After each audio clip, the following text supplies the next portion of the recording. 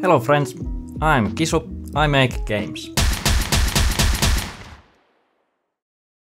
And today I'm trying a little bit of a different style of video. Here I'm just talking about game development and all the things related to it. If I can give you some pointers, any kind of help, some ideas, I'd be glad to provide that for you. I already make tutorials for Unity using the Adventure Creator toolkit. It is a handy tool. It lets you basically make games without knowing much about coding, which is great. Let's say you want to start making games. It is the year 2024. Big companies are in trouble, lots of layoffs, people are losing their jobs. I think now is a great time to become an indie. Nobody can tell you what to do. Just go and do your thing. I know it is hard, especially for solo devs like myself, but the thing is, you can really do what you want, and no one can tell you otherwise. So let's say you're a beginner. Well, you actually already have everything you need to get started.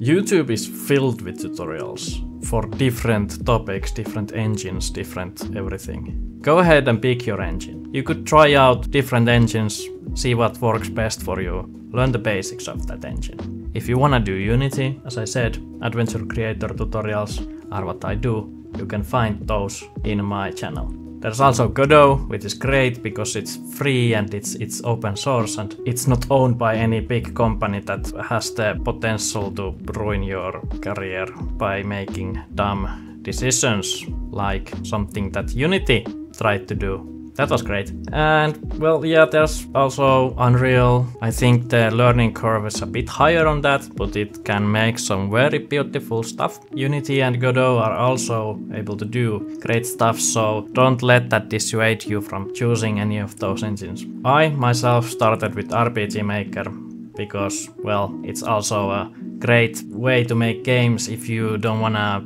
or don't know any coding RPG Maker can be a good choice for a beginner to just to get the like idea of what is it like to make games. Just know that it has a bit of a stigma to it, and uh, well, some parts of the community are not great. I've been there.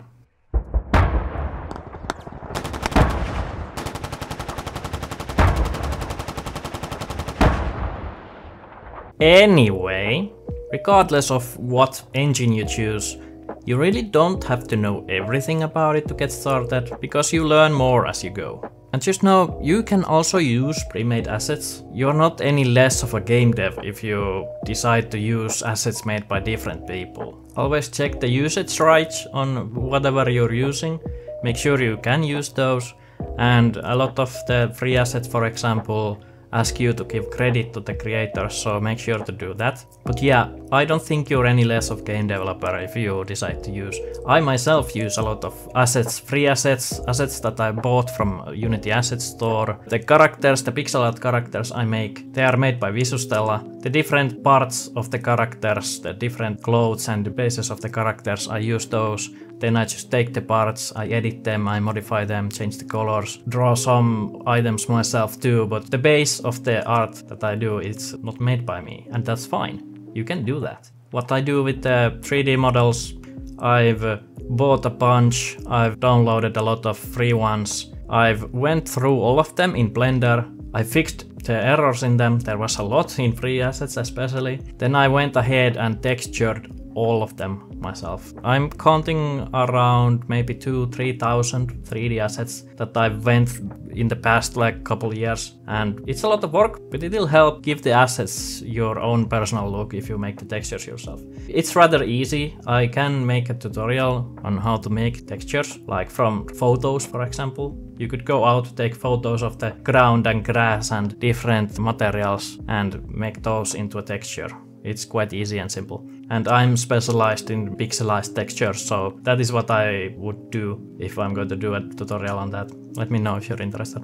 You could also use like for example the Adventure Creator. It's a handy tool that you can use to make your games. It has a lot of different commands. In a way it's similar to RPG Maker. It has a list of commands that you can use but it's it's it's a lot more and it's quite easy to modify the systems to do what you want if you have any specific things that you need to be done in your game. It's rather cheap when you compare it to other similar types of assets where you can just download one asset and make a complete game. Just remember in the end, you are not any less of a game developer if you decide to use assets made by other people. Just make sure you have the usage rights to do what you want with them and credit those people. Also remember, if you're just starting game dev, start small. Nobody is going to make their dream game as their first game. Nobody is going to make an grand strategy or an MMO or anything huge like that as their first game. Start small different kind of walking simulators and and horror is quite easy to make. RPGs are going to be a bit more complex for you to do and just games that have a lot of different systems. Leave those alone for now. Just trust me on this. Start small. Make really small projects. Make several different projects. So you will learn more varied styles of like games and uh, how to make those kinds of things. Also, one good tip I can give you is make something every day. Momentum is the key. If you stop doing it, you'll get lazy. It's very common. It's it's I've seen that multiple times, even with myself. If I don't do anything for a week, I'm very lazy and it's hard to start again. If you do something every day, things will be a lot easier and you will also remember all the things you've learned a lot better. Also remember to cut up your development to small tasks. It's a lot easier to manage small parts at a time instead of thinking the entirety of the game that you want to create. Cut it up to small parts and then manage each of those one at a time. Game development is fun, but it is also very hard, especially if you're going at it solo. I have been in a team before, but then I moved on to work as a solo game developer and I've done several different games. You can check out my games on Steam or itch.io. Some of the earlier ones are very simple, 2D graphics, very, very simple looking. A couple of my newer games are 3D and look a bit cooler, but generally all of my games have received positive feedback, so check those out let me know if you like these kinds of videos and let me know if you want me to keep making these and you can also suggest some topics that you want me to cover from someone that has been making games for a while now and I have learned a lot of different things and I know how to handle stuff because I have been through a lot. Trust me. To let me know that you want more of these, you could leave a comment, leave a like, and I will see you next time. And thank you to my top patrons Maisie K, Kenzie Main, Red Leader 327, Mika Autia, Brett Cruz, Jan Fredrik Feisten, Sean Hansen, I am Waze, Jacob Nelson, Tritura Chan, Fmo, Brit Blade, Road to Vostok, and Isabel. You are my favorite people. Thanks.